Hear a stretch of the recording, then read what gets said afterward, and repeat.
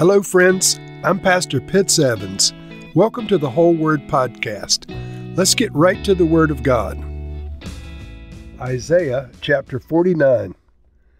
Listen to me, you islands. Hear this, you distant nations.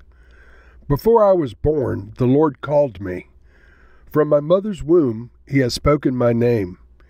He made my mouth like a sharpened sword. In the shadow of His hand, He hid me.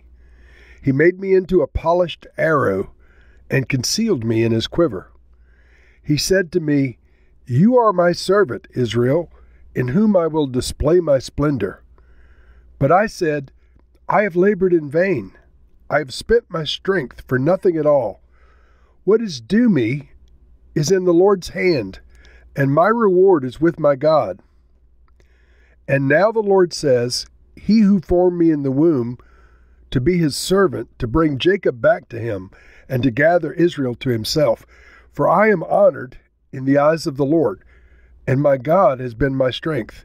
He says, It is too small a thing for you to be my servant, to restore the tribes of Jacob, and bring back those of Israel I have kept. I will also make you a light for the Gentiles, so that my salvation may reach to the ends of the earth. This is what the Lord says, the Redeemer and Holy One of Israel. To him who was despised and abhorred by the nation, to the servant of rulers, kings will see you and stand up. Princes will see you and bow down. Because of the Lord who is faithful, the Holy One of Israel, who has chosen you. This is what the Lord says In the time of my favor, I will answer you and in the day of salvation I will help you. I will keep you and will make you to be a covenant for the people, to restore the land and to reassign its desolate inheritances. Say to the captives, Come out, and to those in darkness, Be free. They will feed beside the roads and find pasture on every barren hill. They will neither hunger nor thirst, nor will the desert heat or the sun beat down on them. He who has compassion on them will guide them and lead them beside springs of water. I will turn all of my mountains into roads, and my highways will be raised up. See, they will come from afar, some from the north, some from the west, some from the region of Aswan. Shout for joy, you heavens, Rejoice, you earth, burst into song, you mountains, for the Lord comforts his people and will have compassion on his afflicted ones. But Zion said, The Lord has forsaken me, the Lord has forgotten me. Can a mother forget the baby at her breast and have no compassion on the child she has borne? Though she may forget, I will not forget you. See, I have engraved you on the palms of my hands. Your walls are ever before me. Your children hasten back, and those who laid you waste depart from you. Lift up your eyes and look around. All of your children gather and come to you. As surely as I live, declares the Lord, you will wear them all as ornaments. You will put them on like a bride. Though you were ruined and made desolate, and your land laid waste. Now you will be too small for your people, and those who devoured you will be far away. The children born during your bereavement will yet say in your hearing, This place is too small for us. Give us more space to live in. Then you will say in your heart, Who bore these children? I was bereaved and barren. I was exiled and rejected. Who brought these up? I was left all alone. But these, where have they come from? This is what the sovereign Lord says See, I will beckon to the nations. I will lift up my banner to the peoples, and they will bring your sons in their arms and carry your daughters on their hips. Kings will be your foster fathers, and their queens your nursing mothers. They will bow down before you with their faces to the ground. They will lick the dust at your feet. Then you will know that I am the Lord. Those who hope in me will not be disappointed. Can the plunder be taken from warriors, or can captives be rescued from the fierce? But this is what the Lord says Yes, captives will be taken from warriors, and plunder will be retrieved from the fierce. I will contend with those who contend with you, and your children I will save. I will make your oppressors eat their own flesh. They will be drunk on their own blood as with wine. Then all mankind will know that I, the Lord, am your Savior, your Redeemer, the mighty one of Jacob. And so, once again, God's servant speaks in this chapter. He starts out in first person Listen to me, you islands. Hear this, you distant nations. So he's invoking all of the countries of the world. This is what he says Before I was born, the Lord called me. From my mother's womb, he has spoken my name. He has made my mouth like a sharpened sword. And he goes on to say, You are my servant. Now, let me just pause for a second. Before Jesus was born, his father gave his mother his name. This says, From my mother's womb you have spoken my name. An angelic messenger came and told Mary and uh, in person, and Joseph received the messenger in a dream. But the name Yeshua, Jesus, was given to them uh, while Jesus was in his mother's womb, actually, before he was in his mother's womb. And so from his mother's womb, the name had been spoken. And then it says, He made my mouth like a sharpened sword.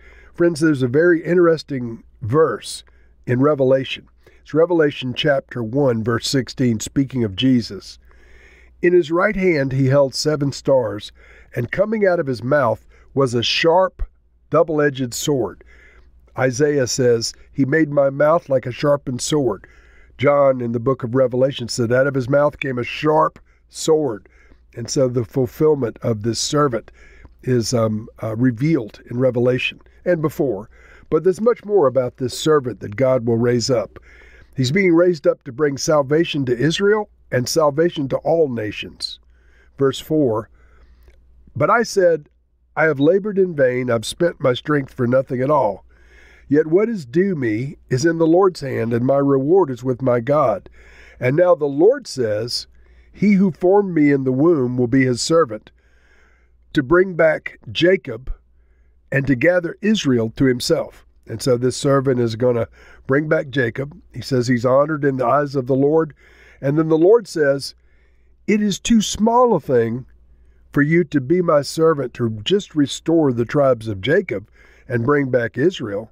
I will also make you a light for the Gentiles so that my salvation may reach to the ends of the earth.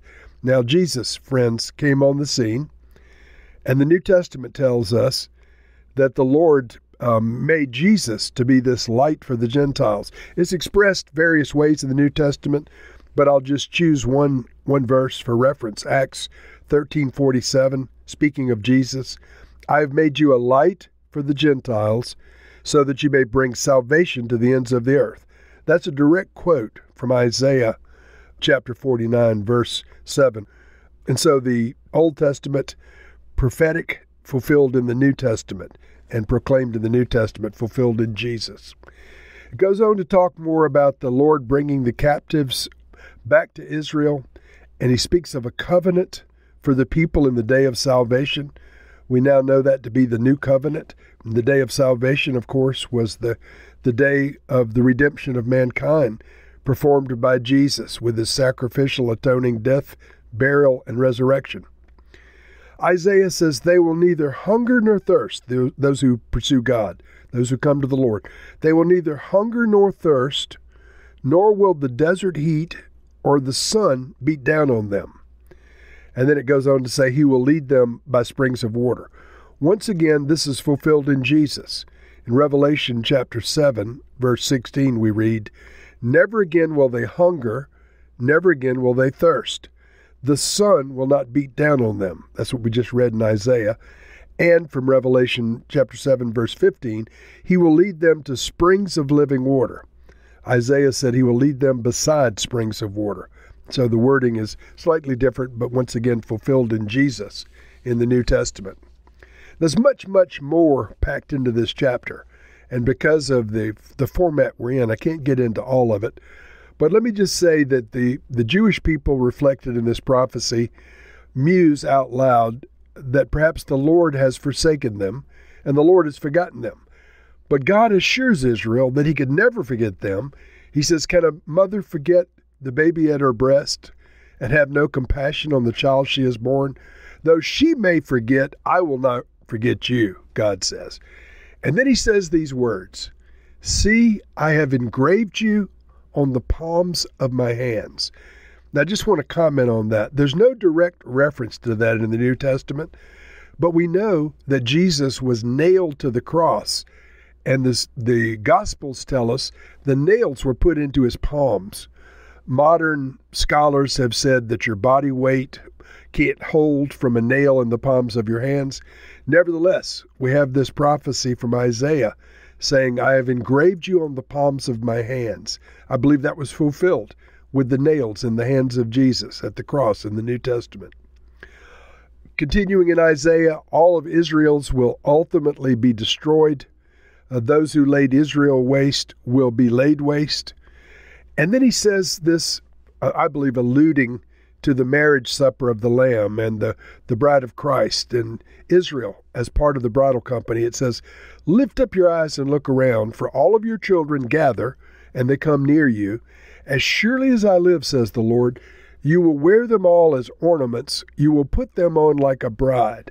And so the restoration of Israel is compared to a bride decorating herself or adorning herself with certain ornaments and jewelry the people of Israel regathering to the nation of Israel are described by Isaiah as decorations for a bride, for a marriage.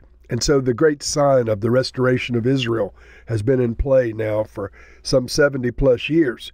But nevertheless, the Lord speaks of a day when Israel will be decorated with the returning children like a bride, wearing ornaments in preparation for her wedding. God goes on to say he will extend salvation to the Gentile nations again. Verse 22 See, I will beckon to the nations, I will lift up my banner to the peoples. They will bring your sons and daughters and carry them on their hips. They'll bring your sons in their arms and carry your daughters on their hips. And then it, it continues with All mankind will know that I, the Lord, am your Savior, your Redeemer, the mighty one of Jacob. And so, friends, the Lord has not finished with his Jewish people. Like a, a mother with a child, he could never forget his child. He could never withhold compassion on the child that he gave life to. The Lord entered into a marriage covenant at Mount Sinai at the time of the, the Sinai giving of the Ten Commandments and the law of Moses.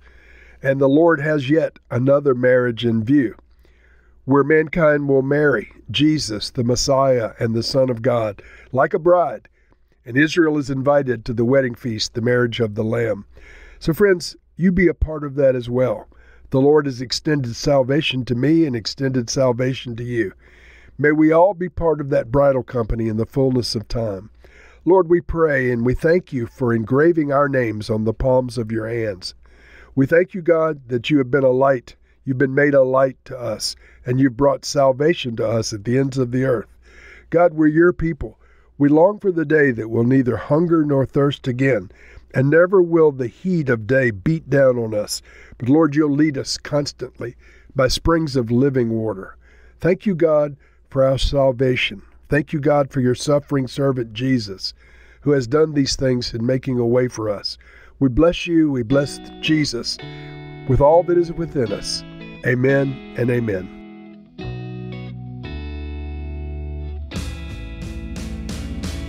Thank you for listening to this episode of The Whole Word. It was brought to you by Whole Word Fellowship and the Northern Virginia House of Prayer. If you were encouraged, please share our podcast with your friends. We'd also appreciate it if you'd hit subscribe in your favorite podcast app and take a few moments to write a review. If you'd like more information on our church and our ministry, you can go to wholeword.net or wholewordpodcast.com for more information.